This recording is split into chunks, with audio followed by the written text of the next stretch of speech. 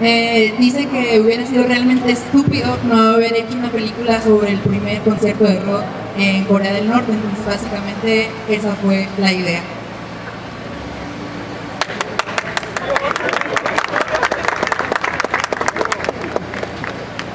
preguntas por allá, hay otro compañero que quiere preguntar. No sé si me con el micrófono.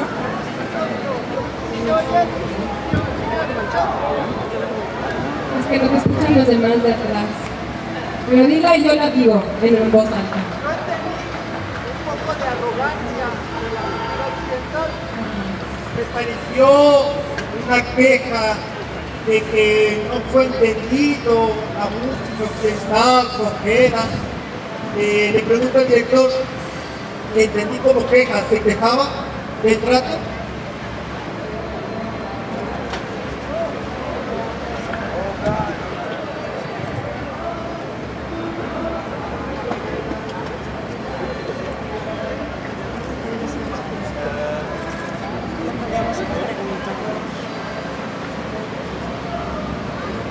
Hello.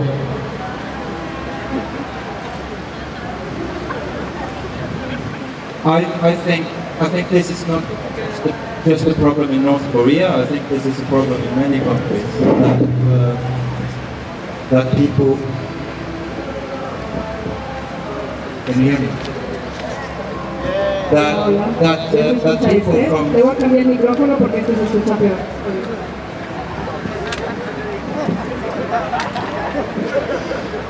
Hello. Can you hear me? Okay, thank you. Uh, just to answer your question, Senor, uh, I think this attitude uh, does not, it's, it's, it shows itself not only in North Korea. I think uh, what I have seen, and, and maybe also seen in myself, is that when we go to other countries, we are either arrogant or we are too humble because we are afraid of being arrogant.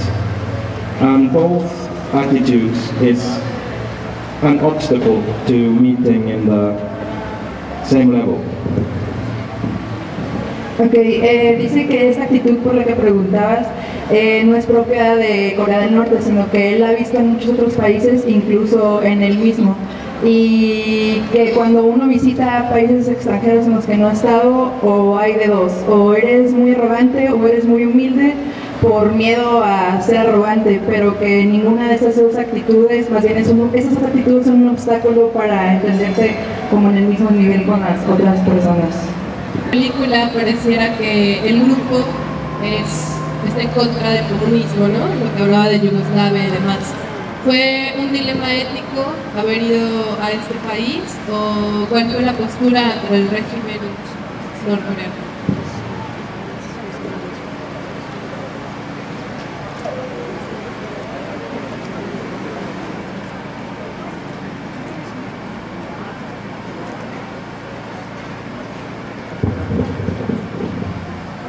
It, wa- it wasn't really that big a dilemma because Laibach are not that much against communism and North Koreans are not that much communists.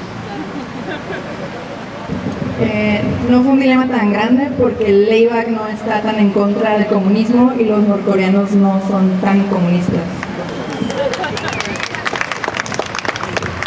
Pronto veamos su próxima película porque acabamos de ver un documental extraordinario, maravilloso, felicidades y gracias.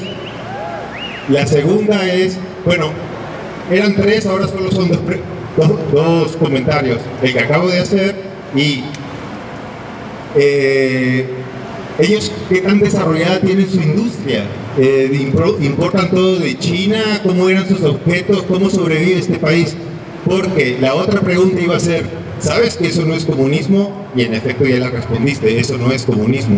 Gracias.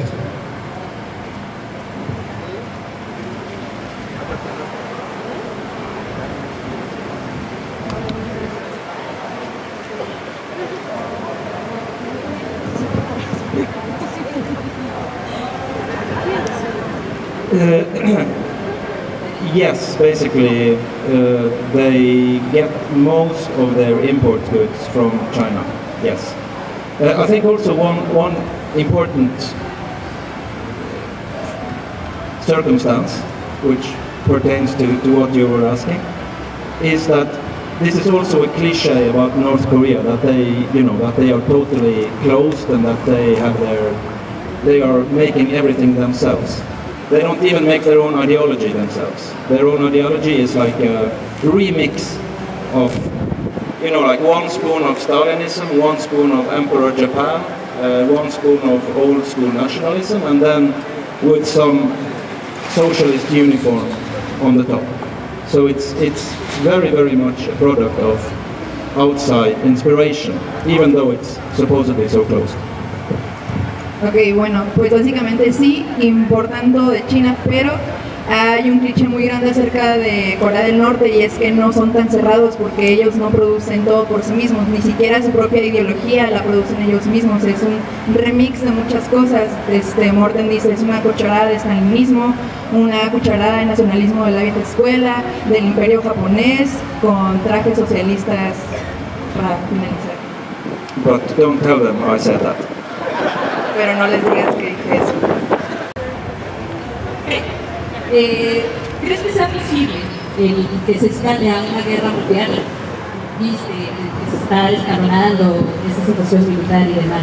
Y hay una cierta preocupación de que Corea del Norte haga un ataque con algún misil y se deshace de guerra. ¿Lo ves posible? Es una pregunta. Ahora, la segunda pregunta tendría que ver, he estado en Cuba y mi percepción es que los días parecería que, que todos los días son domingo. También compañeros que han estado en China me han platicado que eh, parecería que, que, se vive o se habita en un profundo domingo todos los días. ¿En Corea del Norte sería lo mismo o cuál es tu percepción de todos los días?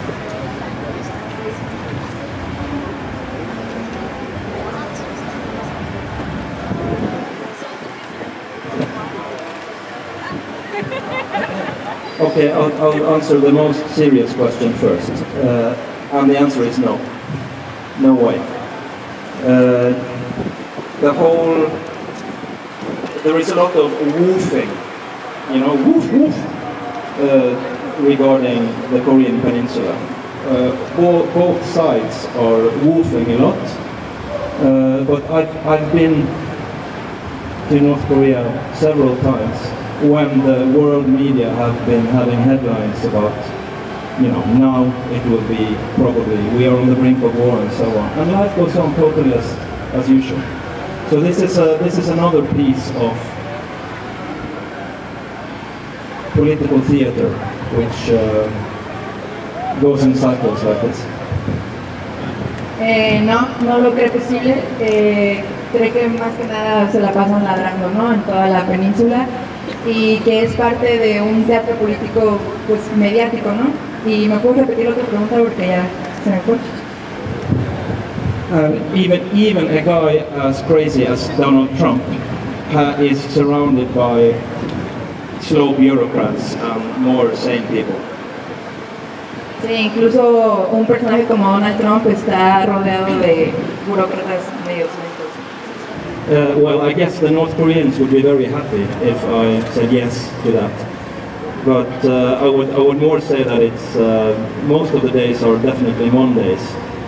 Uh, and then there is a military parade or some big celebration happening quite often, but it's not like a day off to many Koreans because they have to, you know, march and uh, wave their flags and so on. So it's uh, it's not a Sunday kind of country. Eh, dice que los coreanos estuvieran muy felices si te respondiera que sí, pero no.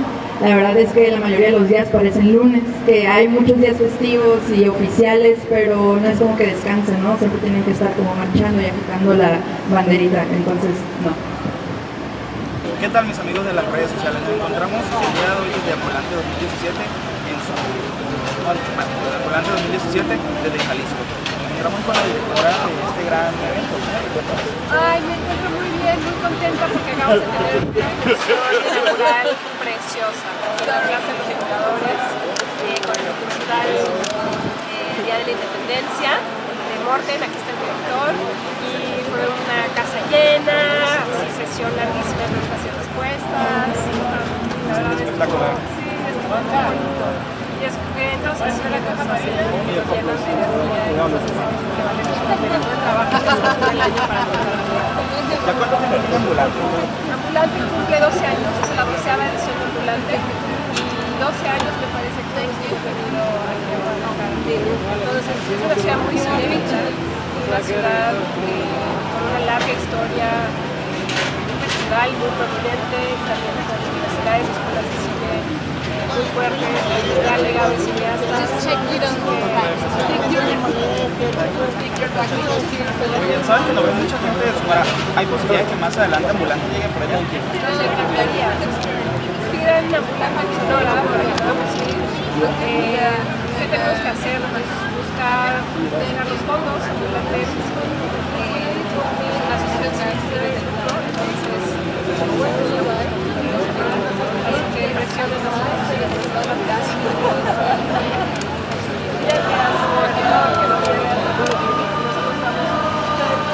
me la, la gracia porque es algo que ayuda a promover mucho la cultura. Aparte que me he impresionado la cantidad de gente apoyando el evento, llamando a las personas para venir y que trabajarlo sin que viniera tanta gente este día. Pues mira, nos sorprendió un poco porque no era una película palomera, no era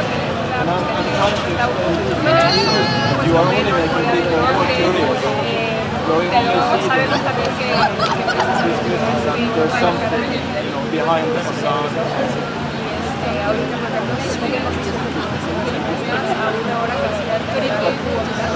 entonces sí hay sorpresa pero también como que nos sentimos Muy bien,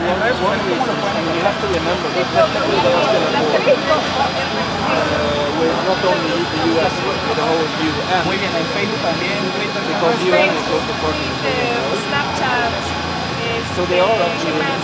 Eh, Twitter, eh, todas las redes estamos. Muy bien, muchas gracias.